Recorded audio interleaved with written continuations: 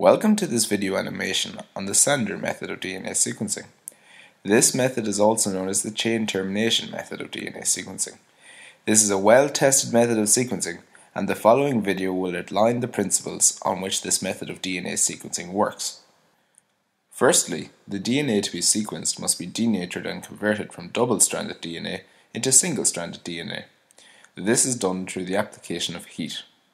The DNA splits into a template strand and its complementary strand.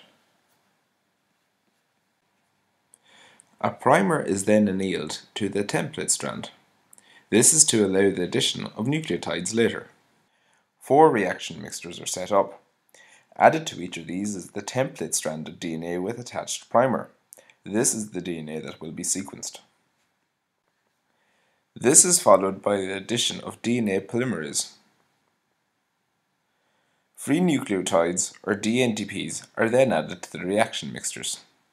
One of these DNTPs is usually radiolabeled with a 32 phosphorus or 35 sulfur atom. This helps in determining the DNA sequence later. Modified nucleotides, or DDNTPs, are then added to the reaction mixtures. Only one type of DDNTP is added to each reaction mixture. Chain termination occurs after the addition of DDNTP due to the fact that there's no OH group available to attack the next DNTP.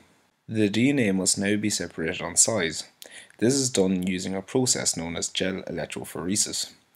A sample of each of the four reaction mixtures is taken and pipetted into a separate lane on the gel. Polyacrylamide gel electrophoresis can separate polynucleotide chains differing in size by one nucleotide. A current is set up across the gel and the DNA is inserted at the end with the negative electrode. As the DNA is negatively charged, it will begin to migrate towards the positive electrode. Smaller fragments will move faster than larger fragments. The gel is dried down and an X-ray taken. Since we radio-labeled a DNTP, we can now see it show up on the X-ray film. It will show up as bands across the X-ray film which can be used to find out the sequence of DNA. We know that each reaction mixture had the same primer, therefore all of the strands begin with the same sequence. Each chain in a particular flask ends in a sequence determined by whatever dideoxy NTP was added to that flask. For example, a DNA strand taken from the flask to which dideoxy ATP was added will end in an A or adenine nucleotide. We can use this information to determine the sequence of DNA by reading across the various bands on the X-ray film.